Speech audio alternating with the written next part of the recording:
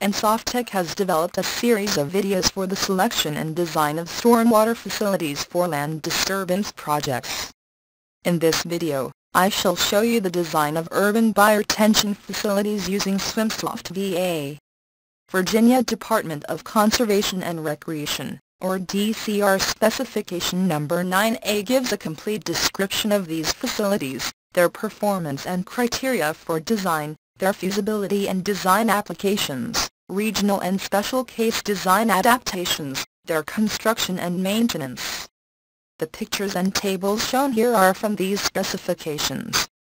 Urban bioretention facilities are structures such as stormwater planters, expanded tree pits, curb extensions, and foundation planters located in ultra-urban developed areas such as city streetscapes.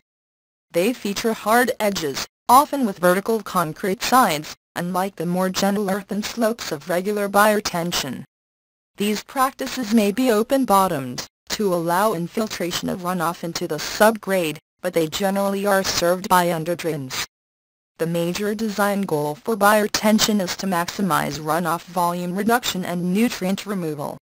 Table 901 gives a summary of stormwater functions provided by urban bioretention areas you will notice that there is only one level of design for these BMPs.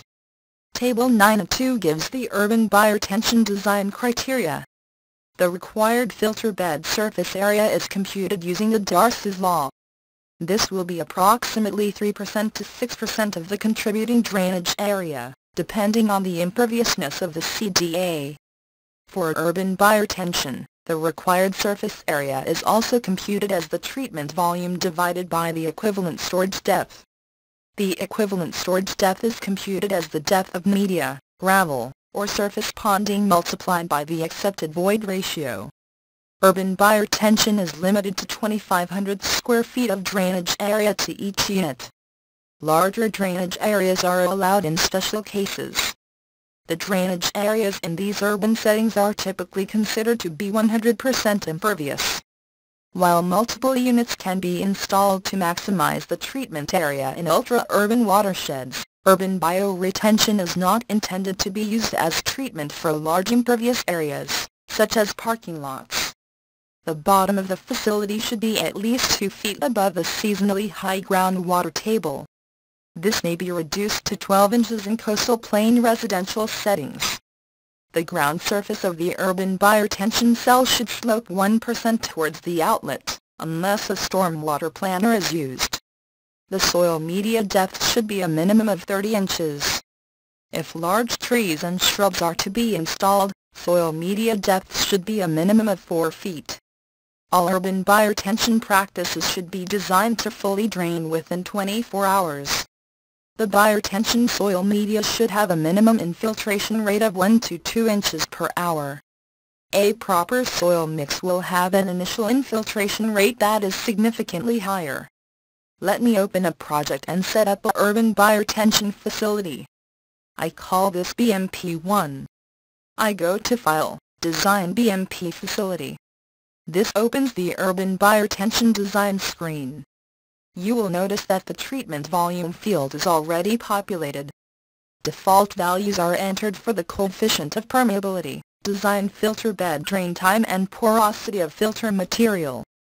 These can be changed by the user. You will notice that pretreatment types are shown here. Pretreatment options are similar to those of regular bioretention practices.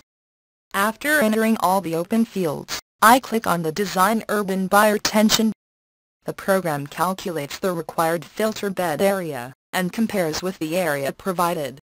At least 75% of the water quality volume should be held prior to infiltration. The adequacy of the temporary storage is determined. The remarks will show if the design is satisfactory or not. I go to the top menu bar and click on File, Save. This will save all the data including the results. I now go to the top menu bar and click on File, Print. The print report, which is in Excel format, gives the results of analysis.